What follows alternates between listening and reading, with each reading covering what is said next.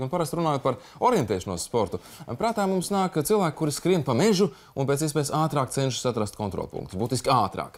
No 2000. gada Latvijā tiek rīkota taku orientēšanās. Atšķirībā no parastās orientēšanās šajā disciplīnā galvenais ir nevis ātrums, bet precizitāte. Un tieši tādēļ taku orientēšanās ir lieliski piemērota gan vecākiem cilvēkiem, gan cilvēkiem, kuriem ir kustību traucējumi. Plašāk par to stāsta Ulds Birziņš.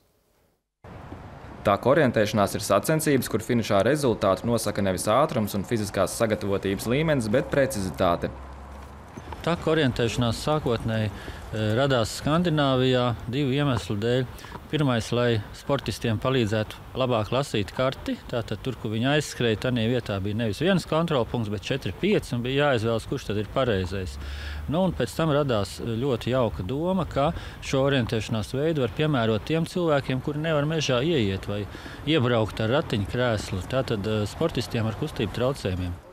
No 2000. gada tā orientēšanās sacensības tiek rīkots arī Latvijā. Margita Kanopka ar šo sporta veidu aizrausies aptuveni piecus gadus. Man patīk tas, ka tas notiek laukā, svaigā gaisā, pie reizes tu iztaigājies pa mežiņu un vēl padomā. Sacensībās vairāk jāstrādā ar galvu, tādēļ nav nozīme cilvēka dzimumam, vecumam un veselības stāvoklim. Uz starta iziet var pilnīgi visi. Īstenībā es ar orientēšanos esmu saistīts no bērnības, jo es sāku nodarboties 1969. gadā. Pēc tam es salauzu kāju 79. gadā, tad bija tāda baigā pauze. Tad man ķēra insults 2009. gadā. Man zvanīja tāds Pēters Pirtnieks, kas no tās bērnības pazīstams cilvēks un aicināja mani uz orientēšanos. Viņš teica, ka es guļu paralizēts vaivaros. Viņš teica, oi, tieši lieliski mums tie, nu, paralimpiskā grupā vajag dalībnieki, kas, kas vispār nevar pakustēties. Nu, tā, tomēr tas vārds vārdam, un nu, es sāku.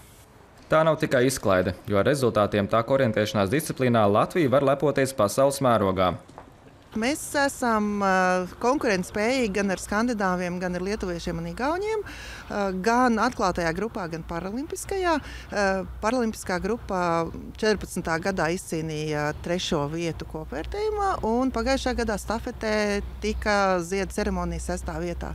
Tā kā ir labi rezultāti paralimpiskajai grupai arī. Jā. Un, un parastajai grupai? Parastajai individuāli lieliski. Jā, mums ir pasaules čempions, mums ir pasaules čempionātā bronzas medaļa.